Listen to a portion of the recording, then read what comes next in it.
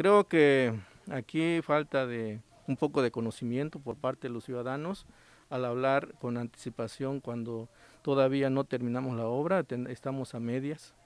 Entonces, este, esa es la preocupación de, del Coyul Guamelula.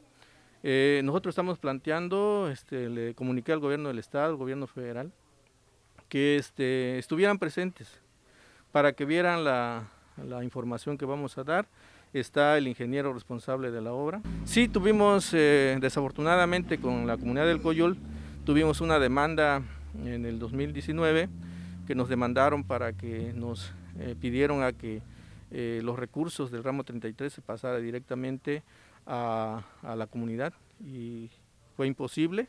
Llegamos a los tribunales, este, nos dieron los derechos a nosotros porque no estamos en contra ni estamos fuera de la ley.